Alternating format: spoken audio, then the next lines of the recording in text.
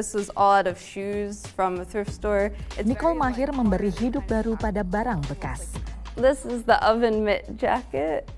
This one was on display um, at a museum for a while, so it just came back.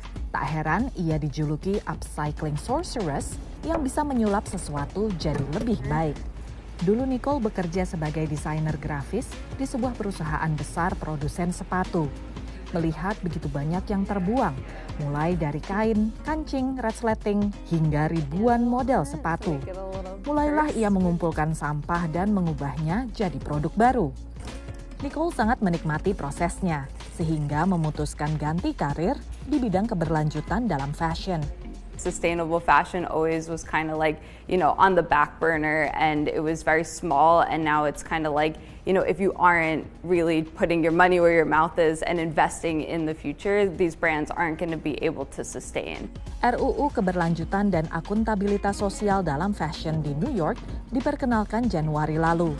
RUU ini akan mewajibkan produsen dan retail fashion melakukan praktek keberlanjutan, termasuk transparansi informasi tentang pengiriman, materi yang digunakan, kondisi pekerja, dan lain sebagainya ke publik, terlepas dari lokasi produksi.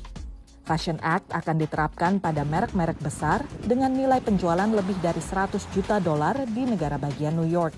Pelanggar bisa didenda hingga 2 persen pemasukan tahunan mereka. Daftar pelanggar juga akan dipublikasikan oleh kantor Jaksa Agung negara bagian New York. Banyak perancang busana mendukung gagasan ini, termasuk Stella McCartney. It's been a miracle, to tell you the truth, to actually be able to have a skin-free skin made out of veg- a vegetable, out of a fungus, a vegetable, something from the earth, something natural. It's important. Menurut program PBB untuk lingkungan, industri fashion menghasilkan 10% emisi karbon dunia. Asosiasi Materi Bekas dan Tekstil Daur Ulang atau SMART juga menambahkan 80% baju bekas yang seharusnya bisa didaur ulang terbuang sia-sia di TPA.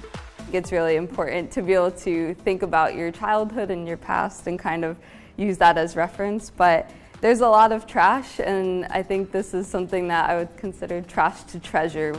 Namun kritik terhadap RUU ini adalah kekhawatiran bahwa harga akan melonjak dan membebani konsumen. Dari kota New York, VOA.